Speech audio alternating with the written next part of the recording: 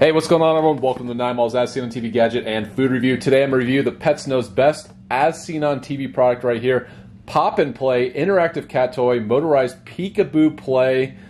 Uh, cats of all ages. It says exercise, uh, fun exercise for cats of all ages. Includes uh, interchangeable mouse and feather toy. Unpredictable movements for interactive play. Optional chirping sounds to keep kitty intrigued 15 minutes auto shut off timer. And yeah, so very interesting product. See if it actually works. See if your cat would actually be interested. Um, let's test it out and see how it works. Set up the interactive cat toy on the floor with room for kitty to play. Press the button and attract kitty instantly. Watch kitty hunt and play for hours, it says. All right, let's open it up, see what's inside. I'm excited to test it out. I had never seen this product. I did not know it existed. All right, so we have some kind of like instruction booklets. I think this is the feather toy. All right, so the feather and then the mouse are interchangeable. So let's try it with the feather and see how the power button and sound. So let's turn on the power button right now. Here we go and see how this thing works.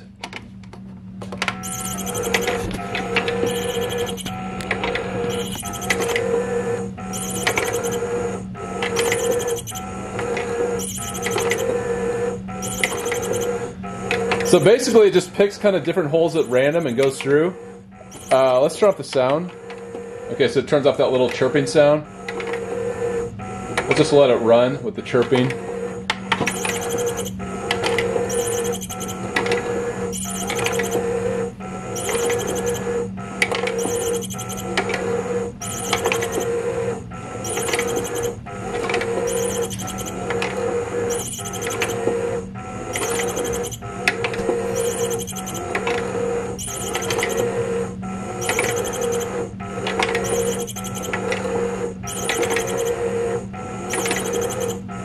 So yeah, okay, let's turn it off. So let that long uh, run long enough. You have the logo right here, the pop and play. Uh, I actually had pretty high hopes for this product. I think it is a little bit disappointing. It kind of looks cheap. Um, you know, it has it's not rechargeable. You have to put in a ton of batteries. It has one of those screw-in uh, battery covers, which I don't like. You know, just kind of waste time. So tons of batteries. It kind of reminds me of like a product from the 80s or something where you put, you know, you buy it and then you have to, you know, batteries not included. You have to get a ton of batteries. Um, so yeah, a little disappointed for what you're getting. It's just a hunk of plastic with a small motor and then it kind of just pops out at random. So honestly, I would say for most people, skip this item. Um, this is just a quick test. Wanted to test it out uh, and just show you guys what this thing looks like since it is an as seen on TV product. Once again, it's a pop and play.